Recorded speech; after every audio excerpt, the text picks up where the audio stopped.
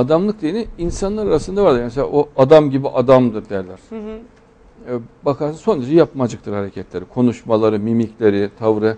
Yani böyle tiyatro sanatçısı gibi insanı utandıracak tarzda son derece yapmacıktır. Konuşmaları yapmacıktır. Uslubu yapmacıktır. Yani samimiyetsizdir.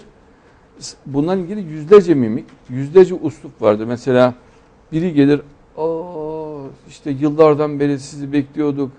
Siz nerelerde kaldınız? Sizi gidi sizi böyle çok çok yapmacık. Halbuki insan çok candan özlediğini, e, çok sevdiğini söyleyebilir. Yani çok Evet. değil mi? Açık söyle. Ya oradaki yapmacıklar ne gerek var? Yani bu işte adamlık denilir. Ben bunu bunları anlatıyorum. O da orada ona karşılık yine yapmacık karşılık veriyor. Zaten her yerde bunları görürüz, biliyorsunuz değil mi? Maalesef. Yani tabii yani niçin yapmacıklık insanı yorar? Yani tabiilik çok güzeldir.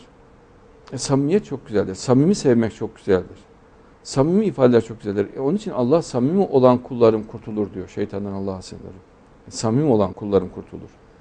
Yani samimiyetin zevkiyle yapmacıklığın iticiliği arasında Müslümana tercih yap deseler.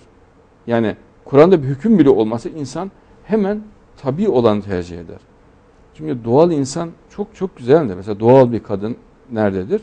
Yapmacık bir kadın nerededir? Değil mi? Çok itici durur.